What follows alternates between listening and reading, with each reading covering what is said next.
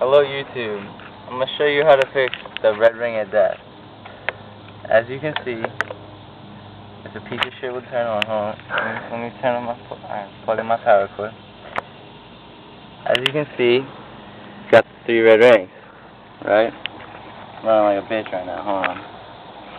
Alright. First, what you do, unplug the power cord, like true champion.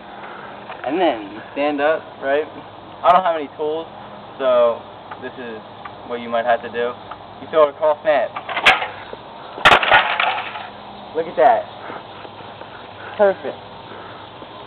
As you can see, this tray still intact. Got your little gay air filter. Um, and fans might pop out a little bit, but you know, throw them back into place. We'll get a hammer to do that.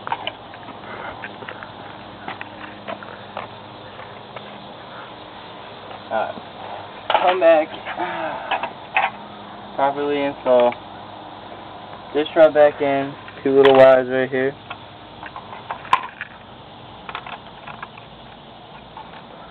Alright.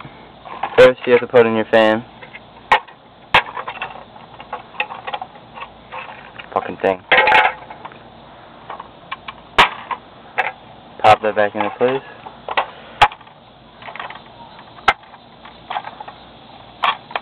Good enough. Right?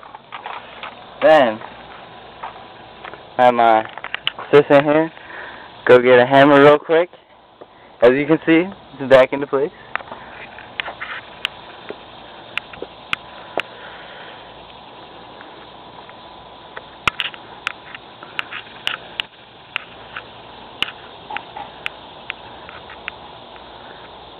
As he's looking for his hammer right now.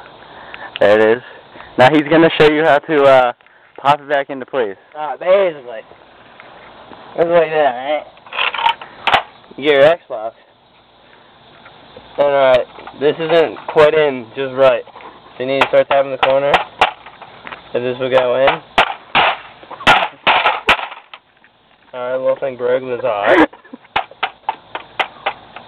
Alright, and then see how the dish tray back like pops out right there? That's about good right there.